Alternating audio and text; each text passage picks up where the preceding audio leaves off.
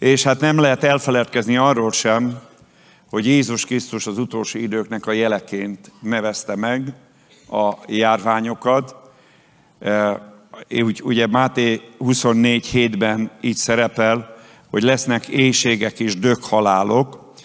fölrengések mindenfelől. Itt, itt a dökhalálokat szeretném kiemelni, és nyilván az eredetiben nem dökhalál szerepel, hanem loimos, ami annyit jelent, hogy egy ilyen olyan valami, ami kártékony, kárt okoz az emberi testnek, és csapást mér az emberi testre. És nyilván az emberi test számára a legnagyobb kár, amikor elveszíti az egészségét, és egyben vannak olyan támadások is, amikor az ember a betegséget csapásként éli el, éli meg, mert olyan brutális módon csap le rá az emberekre, hirtelen, váratlanul, és hát azt látjuk a, ezeknél a családoknál is, hogy így hirtelen támadja meg őket ilyen csapásszerűen a betegség, az egész családnak az élete, normali, normális addigi élete feje tetejére van állítva, hogy feldúlja a hívőket, az életüket, szinte minden területre nagyon nagy kihatással van. Gondolom nagyon fontos, természetesen nem a beteg, betegséggel való szolidaritás, hanem a beteg emberekkel való szolidaritás, mert a részvét, az irgalom, az nagyon is fontos szerepet játszik abban, hogy megnyíljon a szívünk Isten természetfölötti beavatkozása előtt. Kemény szívű emberek számára nagyon nehezen tud megnyílni minden területen Istennek a kegyelme. Az Istennek a kegyelmének a legfontosabb vevő eszköze bennünk a szív. Ha a szívünk olyan állapotban van, amely megtört állapotban van, és föl ébred arra, hogy milyen kegyelemre, vagy a kegyelemnek milyen fajtájára van szüksége, akkor az Isten nagyon hamar megadja azt a kegyelmi ajándékot.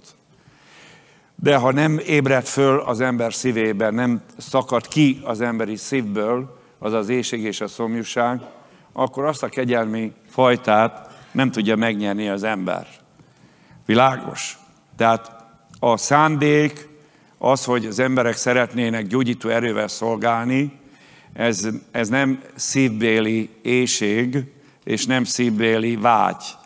És nagyon gyakran szolgáló testvéreknél is csak ezt lehet tapasztalni, hogy szeretnék meggyógyítani a betegeket, de hát ehhez ez nem elégséges az akarat, nem elégséges a jó szándék, ettől még nem szabadul fel a gyógyító erő, mert a gyógyító erő elsősorban a szív tudja megragadni, a szívbe pedig, ahogy mondtam, hogy a, a szükséges, tehát az az ajándékra irányuló vágynak kell felszabadulni, és ahogy látjuk akár a bűnbocsánatnál is, hogy igazából az emberek akkor tudják megnyerni a bűnbocsánatot, hogyha rádöbbennek arra, hogy milyen bűnösök, és a bűneik által milyen nagy rombulást és kárt okoztak az életükben, meg nem beszélve arról, hogy ráébrednek az elveszett, kárhozott mi voltjukra, hogy távol vannak Istentől. Ez a belső fölismerés nélkül igazából nincs megtérés. Sokan megtérnek, de nem így, ahogy mondom, mert nincs meg a szívbe ez a e, e, fölrengésszerű fölismerés, hogy elvesztem, és ez egy alapvető e, feltétele az ember megigazulásának, nem véletlenül, hogy amikor egy farizeus elmegy, és egy bűnös ember, vámszedő elmegy az Úr jelenlétébe, az Úr templomába imádkozni, akkor az Úr a vámosra mutat, hogy eljött, visszament a munkahelyére megazultan, de a vámos vagy a farizeus az nem igazult meg, mert a farizeusnak a Istennel való kommunikációja az nem a szívéből fakadt, nem volt benne a szívének az őszintessége, de a másiknak abban benne volt, mert rászakadt a bűn, és nem csak rászakadt a bűn, hanem a szívébe kapott egy fölismerést a bűnnek a belső természetéről, és a bűnnek a következményeitől, és rádöbbent arra, hogy ha Isten nem ad neki kegyelmet, menthetetlen állapotban van, és el fog kározni. Ez a kegyelem. És ugyanez van gyakran a betegség esetében is, hogy nem csak intellektuálisan, értelmileg vagy érzelmileg kell megfogalmazni az embernek a szükségét a gyógyulásra vagy az egészségre, mert sokszor kemény a szíve az embereknek, hívőknek is beleértve, és éppen ezért, mivel hogy Istennel való közösség teremtésnek csak egyetlen egy eszköze van az emberben, az a szív, és ha kemény marad, akármi ennyit imádkozik az ember, meg bőjtöl, meg futkozik mindenhová, hogy meggyógyuljon, gyakran elmarad a gyógyulás.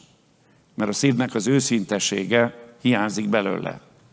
Minden a Bibliában. És minden áldásnak a megnyerése. Az alap, hogy szívből hisz az ember, tehát a szíve már belekapaszkodik a láthatatlan dologba, Jézus Krisztus személyébe, Jézus Krisztus ajándékaiba, képességeibe, tulajdonságaiba, tehát össze van már fonódva a belső, szellemi, láthatatlan része az embernek a mennybe lakozó Jézus Krisztussal, és ekkor szabadulnak föl az emberben